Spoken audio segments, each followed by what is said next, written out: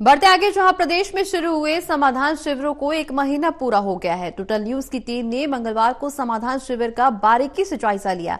शिविर में आने वाले लोगों को राहत तो मिल रही है, पर सच्चाई से पर्दा उठाती है रिपोर्ट, देखिए।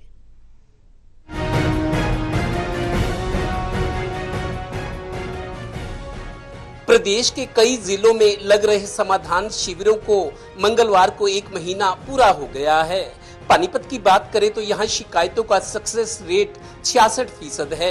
ज़्यादा शिकायतें नगर पालिका और नगर निगमों की हैं, पर कोशिश यही हो रही है कि समाधान शिविरों में आ रही शिकायतकर्ताओं को ज़्यादा से ज़्यादा राहत मिले। पानीपत के समाधान शिविर को नियंत्रित कर रहे deputy commissioner doctor Virendra Singh Dahiya. आज तक हमारे पास पाँच हज़ार एक सौ निवासी टोटल आई हैं जिसमें से तैतीस सौ अठानवे का समाधान हो गया सत्रह सौ इक्यावन पेंडिंग पड़ी है। पेंडिंग क्यों पड़ी है? और हमारा रिज़ल्ट है छियासठ परसेंट आज भी हमारे पास तीन सौ पैंसठ अप्लीकेशन आई है समाधान शिविर में। और ये पेंडिंग क्यों है? जैसे निगम की थोड़ी अभी पेंडिंग है डीडीपीओ की पेंडिंग है, क्योंकि उसमें क्या है कब्जा कार्रवाई करवानी है। कुछ इंतकाल मंजूर कराने हैं। देखो, हमने छियासठ परसेंट तो निपटा ही दिया, और मैं ये कह रहा हूँ, नब्बे परसेंट तक लेके जाए। मैं ये मानता हूँ कि जो आदमी आया, वो दुखी होकर एक आस लेके आया हमारे पास last hope hope against hope कि भाई यहाँ हो गया तो हो गया उन्होंने सेम विंडो भी लगा ली। गौरतलब है कि टोटल न्यूज़ की टीम ने मंगलवार को पानीपत में समाधान शिविर को बारीकी से देखा। यहाँ रोज़ाना 300 से 400 तक लोग अपनी समस्याएँ ला रहे हैं। बहुत से लोगों की शिकायतों का मौके पर ही निपटारा हो रहा है पर कई ऐसे भी हैं जिनकी शिकायतें बरसों पुरानी हैं। मेरी बहन की पेंशन की समस्या है जो कि गलत खाते में चली गई थी। बैंक मैनेजर हमारे को परेशान कर रहा है। मैं इसलिए डीसी साहब के पास आया हूँ। मैं पाँच महीने से परेशान हूँ। डीसी साहब हाथों हाथ कार्रवाई करवा रहे हैं। बैंक मैनेजर हमारे को परेशान कर रहा है। कहता है, गाड़ी खराब हो जाती है धक्का मारना पड़ता है। हमारी समस्या वहाँ जो सीवर बने थे 2020 में, वो नुक्के नु बंद पड़े हैं। जो नए सीवर बने थे, उसके बाद उनमें ना तो कोई सुचारू रूप से पानी चालू रहा है, सारे कनेक्शन, ना कोई कनेक्शन कराया है। सारे के सारे वैसे ही बंद पड़े हैं। बिल्कुल। वहाँ से पर जो नाले हैं, खुले पड़े हैं, किसी अधिकारी, कर्मचारी के पास जाओ तो वो आगे के आगे बताते हैं, उसके पास जाओ, उसके पास पब्लिक हेल्थ के पास जा लिया हम। बाकी हम जो समस्या ले गए थे, अभी हमारी हल होएगी। उसके बाद में ही पता चलेगा जी हमारी समस्या हल होती है कि नहीं होती है।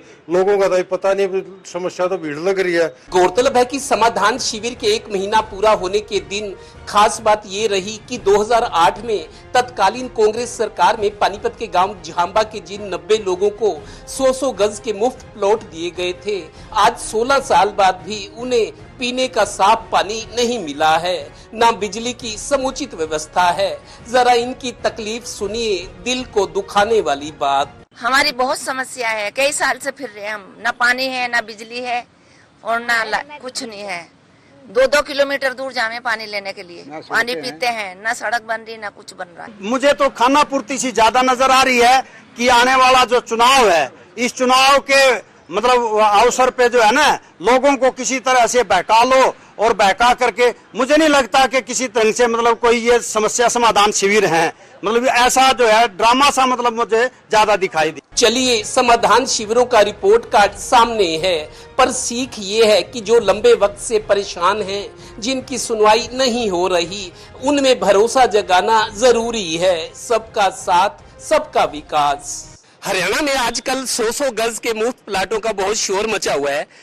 आज पानीपत में जो समाधान शिविर लगा है, उसमें कुछ ऐसे लोग भी आए जिनका ये कहना था कि 2 अक्टूबर 2008 को गांधी जयंती के दिन कांग्रेस सरकार में सोनिया गांधी यूपीए की चेयरपर्सन थी। सोनिया गांधी ने पानीपत से 2 अक्टूबर 2008 को 100-100 गज के प्लॉट की लॉन्चिंग थी, शुभारंभ किया था। लेकिन आज इस समाधान शिविर में ऐसे लोग भी आए जिनका ये कहना है कि पानीपत के उस झांबा गाँव ने ना तो वहाँ आने जाने की सड़कें हैं, ना सफ़ाई है और पीने का पानी तक भी नहीं है।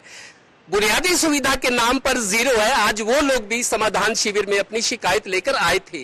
देखना यह है कि अब इन लोगों की बुनियादी जरूरतों और अब मानवीय आधार पर इनकी समस्या का कितना समाधान होता है। सहयोगी श्रीनिवास के साथ Devendra Kathoria total news Panipat bureau.